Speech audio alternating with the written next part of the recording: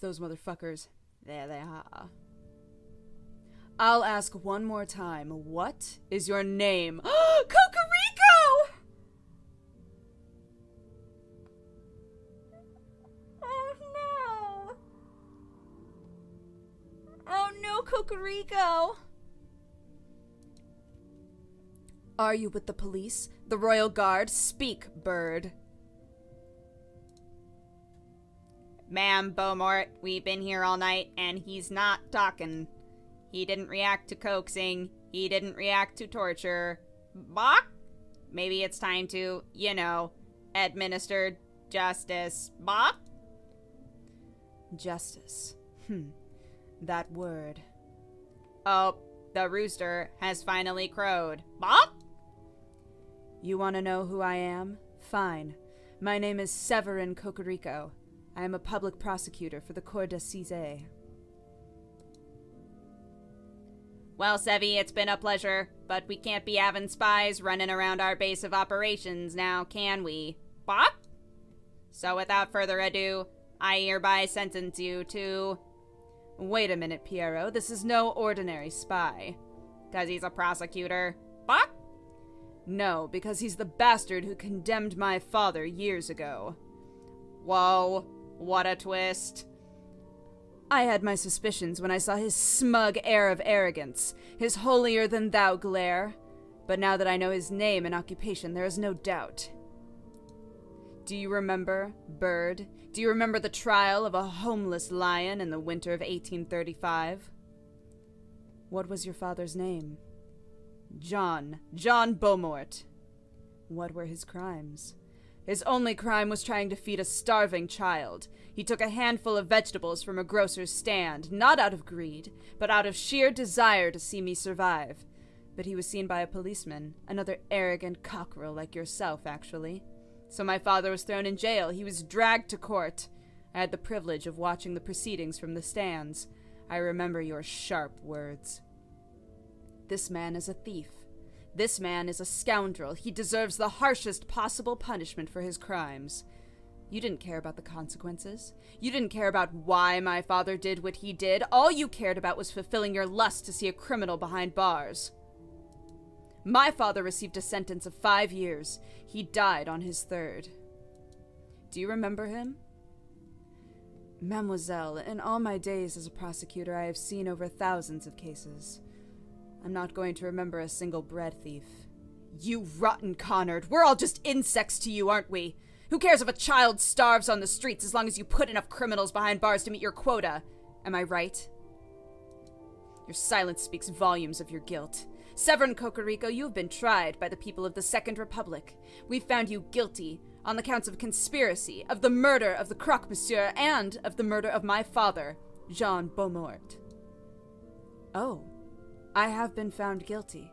Mademoiselle, if you want to shoot me so you can fulfill your revenge fantasies, by all means, shoot me. But don't pretend for a moment that this mob resembles a court of justice in any form. A court of justice? There's a contradiction. Bird, you know nothing of justice. Oh, fuck! Frere Remus, read this man his last rites. With pleasure, madam. Falcon, we have to make a move. You have to say something. What? I can't stay silent? You crazy? Just let him die? All right, I'm going in. I'm coming too. No, I need you to get out of here. Go find the police, the Royal Guard, anyone, and I'll stall for time. Falcon? Oh, okay. I'll go get help. Do you have any last words? Just pull the bloody trigger and be done with it. Wait! Mm. Wait. Wait. He's right. This is a terrible trial. There is no evidence, no defense, no examination of the facts. You've dragged a man off the streets and decided his fate based purely on your own prejudices and whims. Who the duck does this bird brain think he is? I mean, Cluck. Read that wrong. I am this man's defense attorney. I am J.J. Falcon. I called it, by the way. JJ, what are you doing? Defense attorney, you're a raven loony, is what you are. Bok? Or a spy. I've seen this monsieur eavesdropping on our conversations before. He defo can't be trusted. Everyone, please hear me out. I can't appeal to Remus. That's not going to happen. Fontaine or Piero? Fontaine was the one who was like, don't get involved, man. Just walk away. Don't get involved in this rebel shit. He's also the one who's talked the least, which I feel like probably means that he disagrees with this situation the most.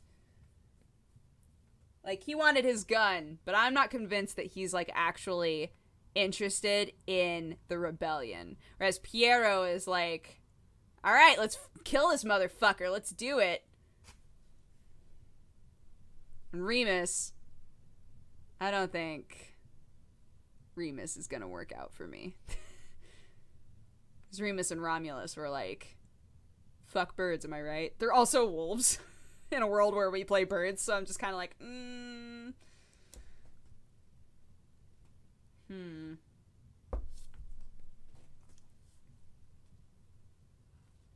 And there's no way that we can appeal to Lion Girl, apparently. Apparently that's not gonna happen. Uh, I'm gonna go for Fontaine. Monsieur Fontaine, we've only met on a couple occasions, but you seem like an intelligent and reasonable sort. Oh, I thank you. I do consider myself to be quite reasonable. Then surely you can see something wrong with dragging someone off the streets and executing them without trial. Well, I want to see a better France, monsieur. A France with actual liberty for all. I don't enjoy violence, but I have no qualms with a traitor or two dying to achieve that noble goal. Means to an end, you know. Do you see, Falcon? This man's death is inevitable. For the good of France, and in the name of justice, he must be killed. Justice. There's that word again. Madam, I won't presume to know who you are or what you stand for, but shooting this man right now would not bring justice. It would serve to satisfy your desire for revenge. Justice. Revenge. What's the difference? Oh, fuck. I can't say fairness, because she's gonna be like, nobody was ever fair to my dad. Nobody's ever been fair to us. Show us a fucking fair France and we'll be happy. Not going the fairness route. Due process, they don't believe in the government. Rationality. Although maybe fairness is the way to appeal because I can be like, don't you want wouldn't a good France be a fair France? Like shouldn't we be the change that you want to see in France?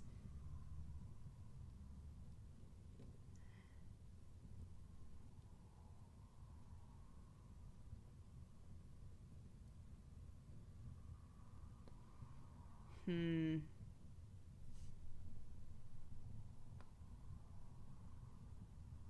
Like none of these seem right to me, if that makes sense. Like all of them. Rationality, I don't know. Justice and revenge, what's the difference? Yeah, maybe rationality is the right answer. Because justice requires you to have like a clear head enough to see the details in order to be able to look at a situation and be like and not be biased or even if you are biased to like see through it, right? Whereas revenge is just like deciding something ahead of time and then fitting everything to suit that.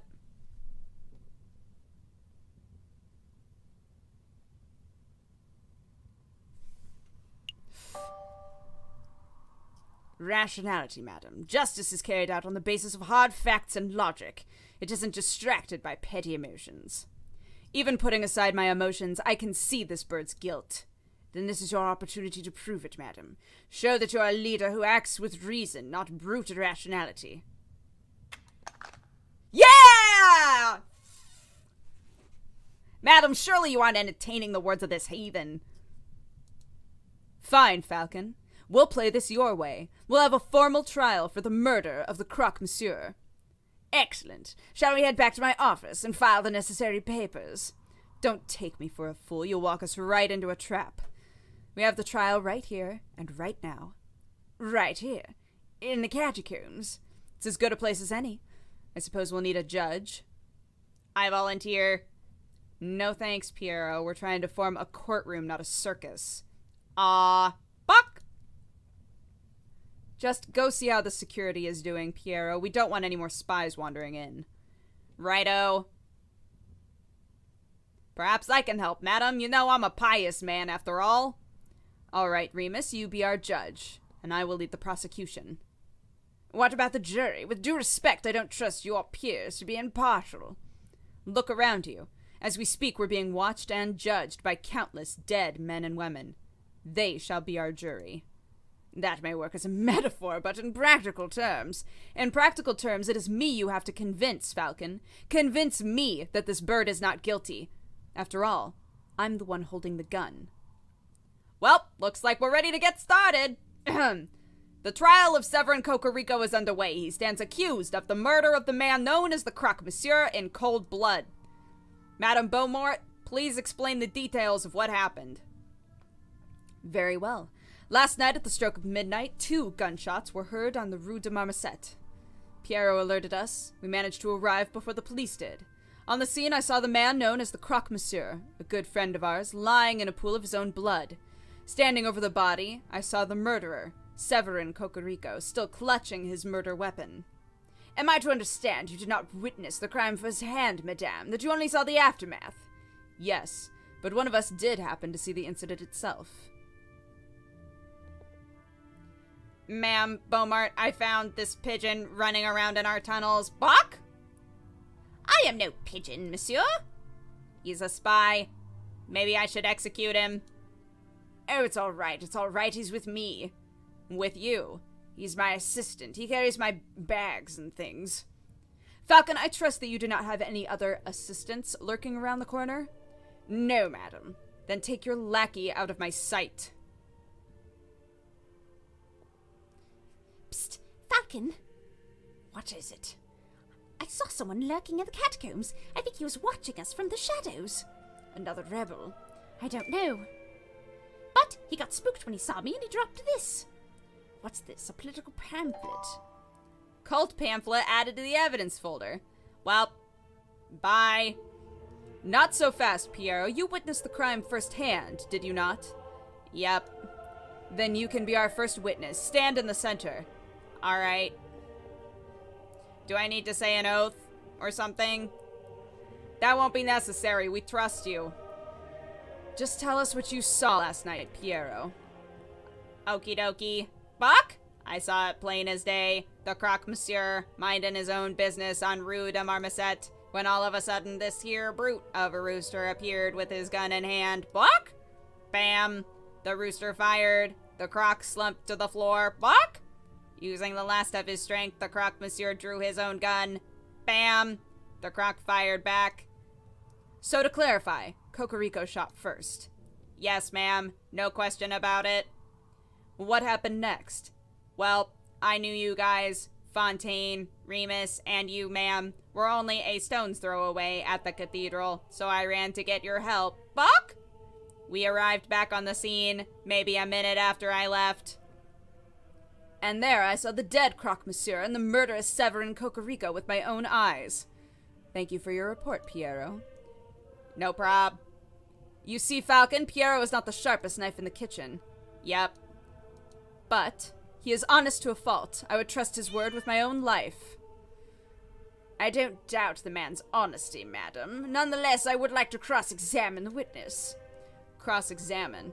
What does that mean? I don't claim to be an expert of the law, but, you know, that was my brother's role. I think a cross examination means Falcon wants to waste our time asking pointless questions. Actually, it means I would like to make sure that Piero's story holds up under scrutiny. I will be asking questions. Only questions that directly relate to the case at hand. Clearly a pointless stalling tactic, madam. You want to put an end to the trial? No. Let the bird have his little cross examination. But I'm warning you, Falcon, don't you mess with me. Don't mess with you. If I get the slightest inkling you're rambling to stall for time, I will end this trial on the spot. Do I make myself clear? Start questioning Cocorico's shoe size or the color of the croque monsieur's underwear, and I will lose my patience. Yes, I get it. Alright. Fuck, okay. Minding his own business. All of a sudden, this rooster appeared, gun in hand. The rooster fired. Croc slumped to the floor. We know that Cocorico had a gun because he was given one by Pirate Bird. Croque Monsieur drew his own gun. Uh oh. Did it happen at night? Do we know what time it happened?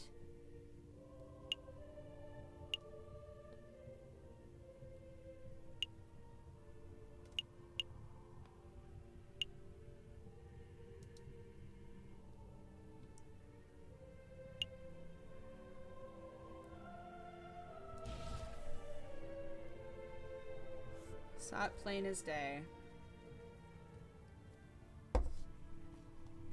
We know that's where he normally is. Well, we know that's where he normally is on a Friday. What day is it? Mr. Fired. He drew his own gun, but Cocorico has like no wounds? Question mark? Or does he?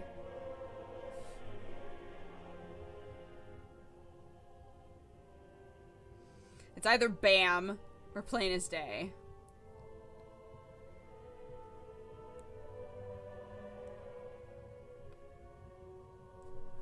I'm gonna say plain as day. You claim you saw the incident plain as day. Yep, plain as day. Did it occur at night, though? I'm gonna say it did. Pierre, I would like to remind you this crime occurred around midnight in February on an overcast, moonless night in an unlit alley. Yeah, so what of it? It would have been dark, so dark you could not have possibly correctly identified the people involved. Hey, I saw what I saw. Hold on, Falcon, you slipped up. You say the alley was unlit, but I distinctly recall there being lanterns over Rue de Marmoset. Nah, bitch, because those lamps were shattered! I have glass to prove it. Oh, yep, that, yep, got you. Yep, sure were. We live in La Ville Lumiere. There's a gas lamp on every street. You're right, Madame Beaumont. There are street lanterns over Rue de Marmoset, but they wouldn't have been any good. Aha! The street lamps over Rue de Marmoset were broken. They are completely non-functional. As proof, I present the glass shards that line the alleyway. These shards originate from the panes of the broken lamps. And I've still got holes in the soles of my shoe. Double proof. Those glass shards could have come from anywhere. You could send one of your underlings to see the broken lamps for themselves if you want. And waste more time? I think not. Sounds like a stalling tactic. Um, excuse me, Madame Beaumont. Um, I don't remember whether the street lamps were or were not broken, but I do remember we had to use a torch to light up the scene. Hey, whose side are you on? Oh, I'm just saying, Falcon might be right. I mean, it was it was like pretty dark, so it's possible there weren't any lit street lamps. Are you saying I'm a liar? I thought we were bros. Stop quibbling, both of you. Maybe the lamps were broken. Maybe they weren't. It doesn't matter. I know that Piero's testimony is accurate because I personally saw the rooster at the crime scene one minute after Piero did. One minute. Plenty of time for the real murderer to escape and for a passerby to stumble upon the scene, is it not? You must acknowledge it's a possibility. I acknowledge nothing. There is an inkling of doubt. You know there is the slight notion that Piero may be misremembering what he saw. Don't badger the prosecution, Monsieur Falcon. I wasn't badgering. On to the next witness. Madame Beaumont, do you have anyone else in mind? I do. There's someone among us who is something of a gun connoisseur. A man who knows everything there is to know about the craft of weaponry. Oh, are you talking about me? Shut up, Piero. Get off the stand. Uh, yes, ma'am. Bach? I call Fontaine forward. Oh, okay. No prob. Now, Fontaine, is it true you're a gun specialist? Well, I don't want to brag, but yeah, kind of. I know a lot about guns and their mechanics and their beauty. Have you heard about the revolver mechanisms America is developing? Wonderful stuff. Fontaine, let's stick to the guns that were found at the crime scene. Tell us about those. Oh, right, very well. Well, this is the gun we found on Severin Cocorico's person at the time of the arrest. It's a standard issue percussion lock Chanterlote Gendarmerie pistol. 24 centimeters in length, 15 millimeter caliber. Lots of police and soldiers carry these things. It's a gun that says, I'm a reliable man of the law. Oh, that sounds like our Cocorico. Does it? Cocorico's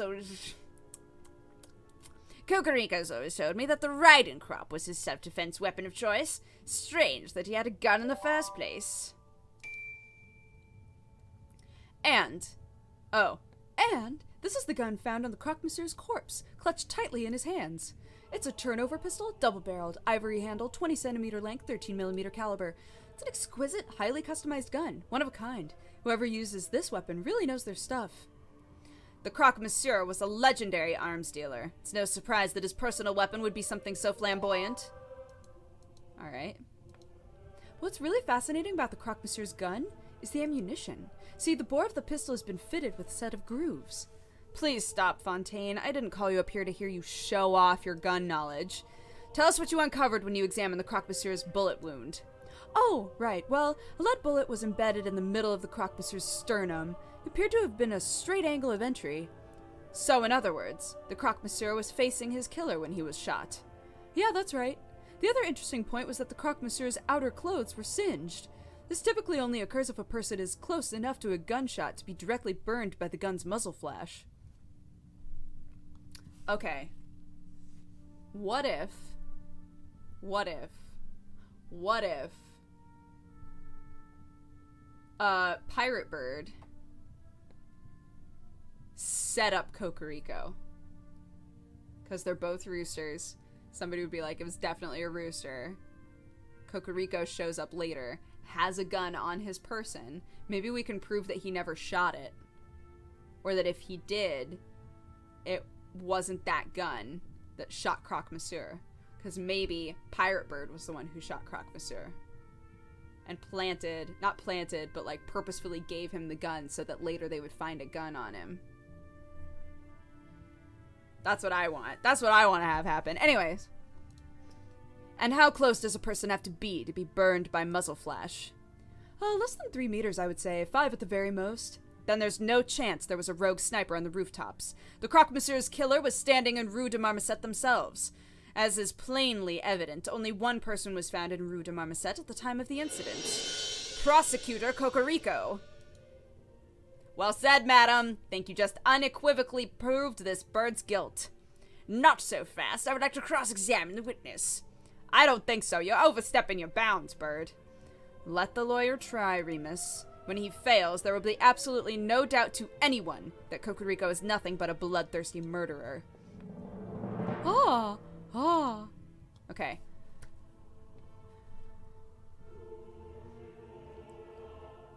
We found found a pistol on Cocorico's person, a highly customized double-barreled turnover pistol found on the Croque Monsieur.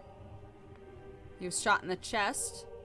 His clothes were singed indicating close range gunshot.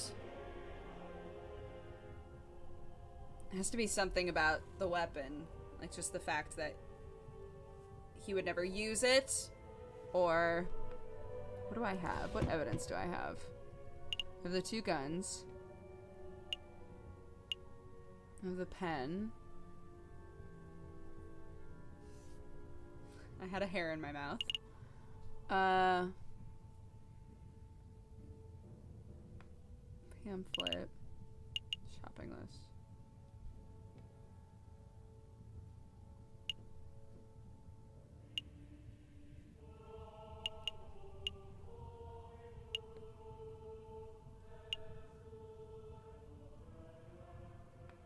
Double barreled.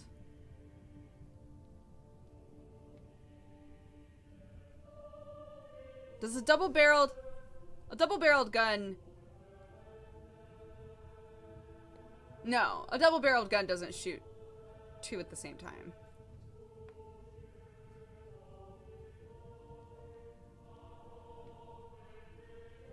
No, that's not how that works. I was trying to remember if a if a double barreled gun. No, it's just so that you have two shots lined up immediately, right?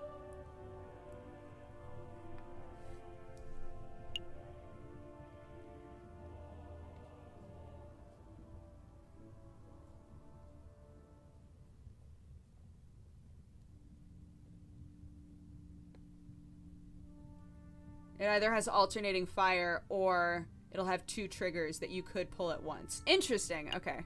I'm not a gun person.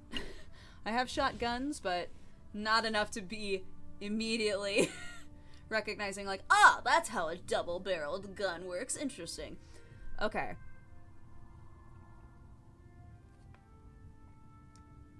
It has to be this, right? Like, that has to be shot in his chest. His clothes were singed, indicating close range combat.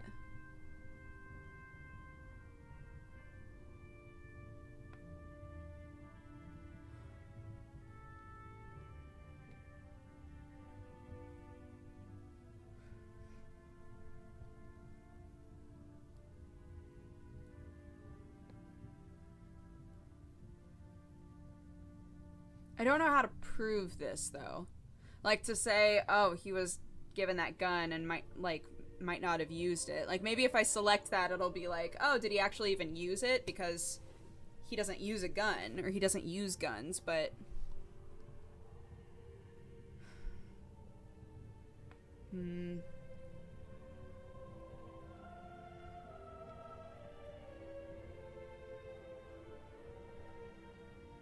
Everybody's all horrified that I've used guns before. I did grow up in the country, guys. I lived on a farm.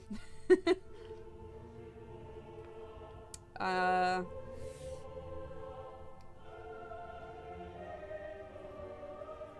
just want to make sure. Shot in the chest. I don't think there's anything that I can. I haven't seen the body. I have no evidence about the body at all.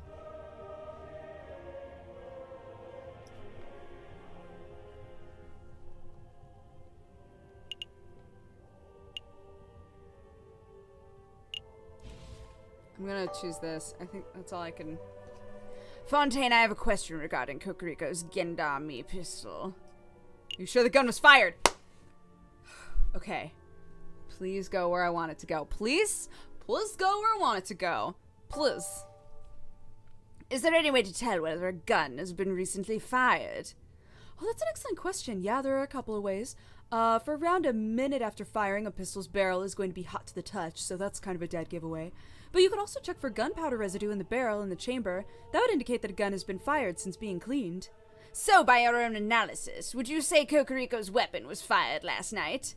It's, uh, uh, well, that's difficult to say, because none of us really thought to check the pistol's barrel temperature at the time of the incident, so, well, we can't use that method. If I check for gunpowder residue now, uh, I see a little in the barrel. That could indicate a recently fired weapon, but it could also indicate a lack of proper maintenance. So basically, you don't know whether this weapon was or wasn't fired last night? Uh, no, monsieur. Well, if we can't be certain whether Cocorico even fired his gun, this whole trial ought to be thrown out. Nice try, Falcon, but Cocorico is still our prime suspect.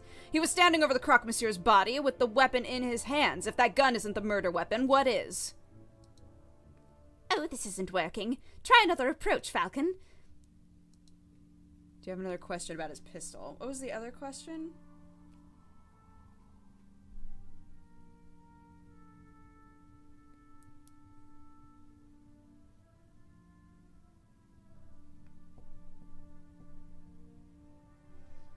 Do you have another question about Cocorico's pistol?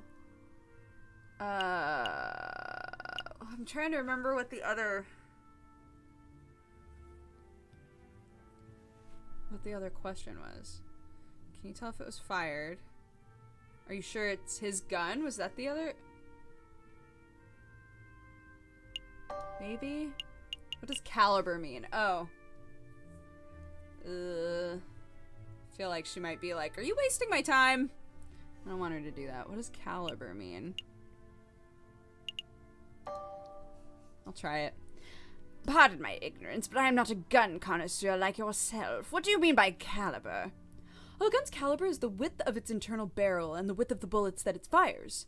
So, you would use 15mm wide bullets for a pistol with a 15mm wide barrel. I suppose that makes sense. Did the bullet embedded in the Croque Monsieur's chest match the caliber of Cocorico's pistol? Uh, I don't know for sure. I didn't have the time nor the equipment to dig the bullet out of the Croque Monsieur's chest. Besides, you know, lead bullet's fragment, so it would be difficult to properly piece together a fired lead bullet to assess its caliber with any accuracy. So then it's possible that the caliber of the bullet as a croque monsieur doesn't match the caliber of Cocorico's gun. Do you know that for a fact, Falcon, or is this just more vapid speculation on your part?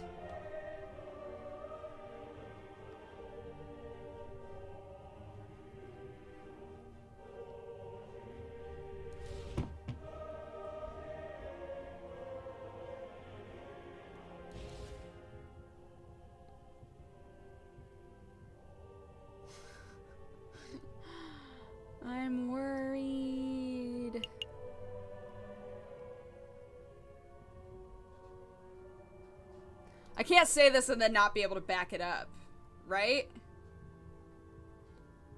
Oof, I'm worried. I'm worried. I know that the caliber could not possibly match. Interesting. Prove it. Well, I don't have any evidence, but my theory hinges on the lack of evidence that the calibers do match. Quit your tomfoolery, Falcon. If you make a claim, I expect you to be able to back it up. You have another question? No. Okay, fine. He was shot in his chest. Croque Monsieur had a double barrel gun. He was shot in the chest. His clothes were singed. Uh.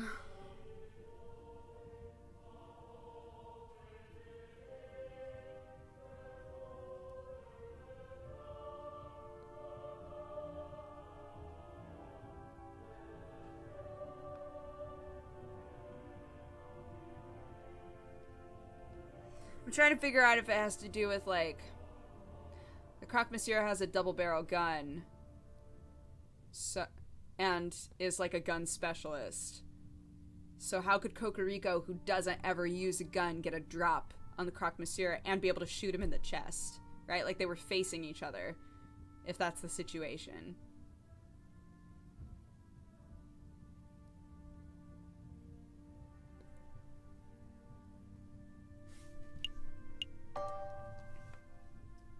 Fontaine, about the Croque Monsieur's turnover pistol. You were about to say something about the gun's ammunition before Madame Beaumont cut you off. Could you give us the details? Oh, great. Now he'll never stop talking. Oh, I'm so glad you asked, Falcon. You see, as you probably know, most bullets are just small, round lead balls, right? But that's not the case here. This peculiar weapon uses an advanced iron tipped, aerodynamic, carefully grooved. Well, actually, it would be quicker if I just show you. Take a good look. This is an iron tipped Minié ball. It's very rare, top of the line technology. Before last night, I had never actually seen one of these in person. Like I said before, the Croque Monsieur is a legendary arms dealer. It only makes sense he would have access to the latest weaponry. Where did you find this bullet, Fontaine? Uh, in the turnover pistol's chamber. Hold on, I'm confused. I thought the Croque Monsieur fired his gun, so how is it possible his gun is still loaded with a bullet? Because it's double barreled, you, you dumb. Oh, a turnover pistol is double barreled, so it means it can hold two bullets at once, ready to be fired in quick succession. Oh, I see. The Croque Monsieur fired one bullet, but died before he could fire the second. I trust you don't have any more questions about that, Falcon. We've wasted enough time already.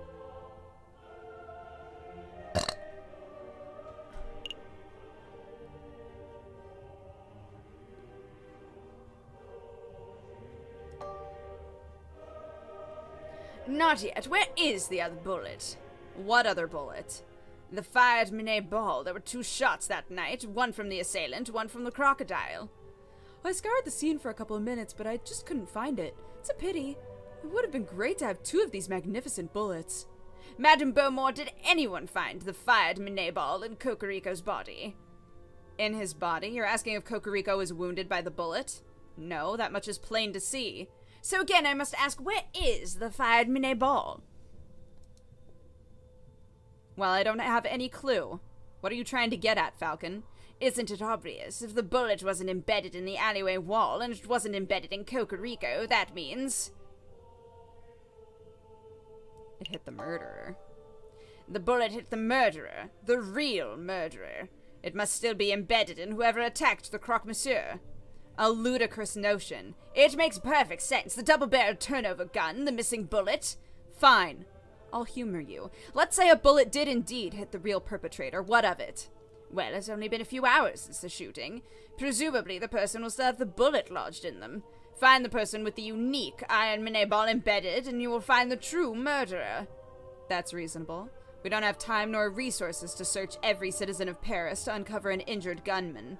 You don't have to search everywhere in Paris. I believe the murderer will be someone in this very room. Oh, you think we have a traitor in our ranks? I do.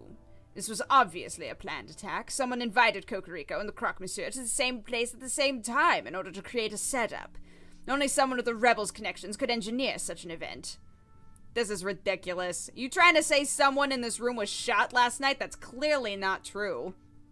A bullet wound can be concealed. Perhaps if you were all to take off your shirts. No. I'm not having everyone in this room stripped down to their knickers just to cater to your outrageous theory. If you can't think of a more reasonable way to prove your stray bullet theory, we end this damn trial here and now. What are you talking about? That is the easiest way to find out if somebody. Why don't you want people stripping? Huh? Because you're the one who got shot? Huh? I don't think so. I don't think she would have allowed this trial to happen if she was the one who did it. That's very plain to see. Um, but if it's the wolf, then I'm gonna be pretty disappointed in that. So, a more reasonable way. At that moment, a chill ran down Falcon's spine. He knew his theory was true. It had to be true. But he also knew he had no way to prove it. Madame, I assure you, this will only take a moment. If everyone could please just take off their outer garments. Frere Remus, why don't you go first? I, I'm not saying you're the murderer, but if you were to have a bullet wound, then. He's floundering! Agreed. I've heard enough of these rambling theories. Falcon, your respect for your comrade is admirable. You displayed great valiance by leaping headfirst into the lion's den, but you have failed to convince me of this bird's innocence. Madame Beaumont, I implore you, not another word. We humored you. We set up a court. We went through the motions of a trial. And now, the rooster's guilt has been formally proven. No, it has not! No, it has not! No, that's not true at all!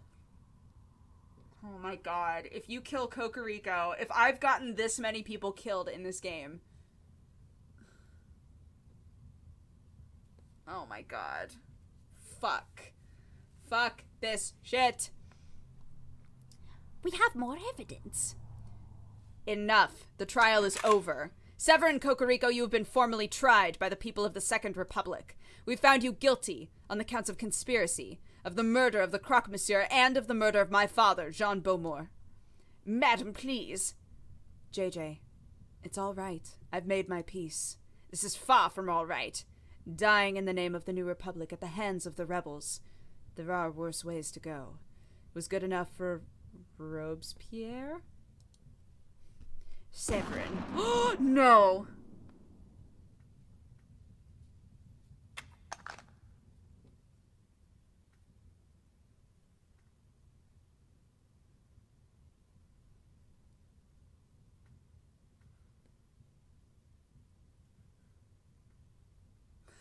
No.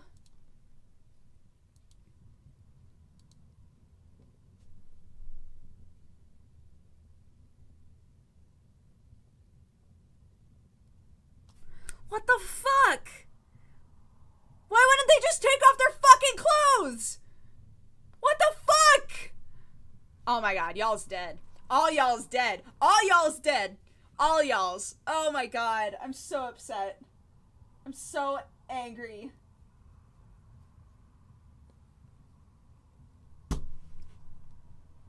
Nope. So pissed. I'm so angry. I'm so upset.